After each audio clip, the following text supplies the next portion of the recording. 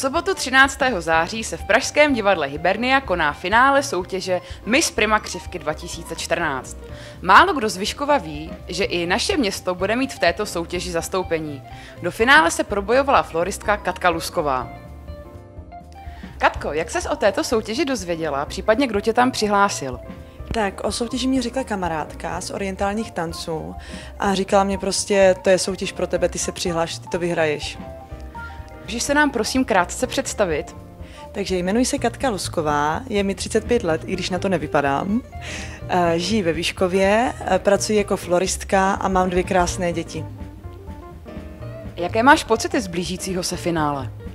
Já si to ještě nepřipouštím. Je to sice za dva dny, ale zatím, zatím žádné. A jaké máš koníčky?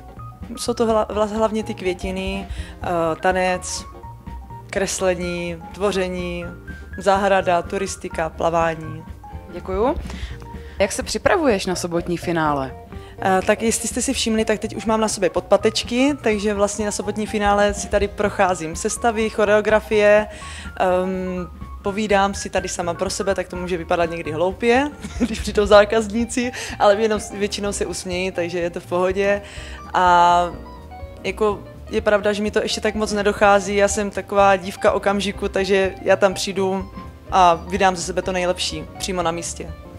A máš nějaké očekávání od této soutěže? A, tak eh, vzhledem k tomu, že jsem se teďka dostala trošičku do světa plus size modelingu, tak se mi eh, velice líbí a zamlouvá. Možná bych chtěla chvilinku pracovat jako plus size modelka. Děkuji za rozhovor.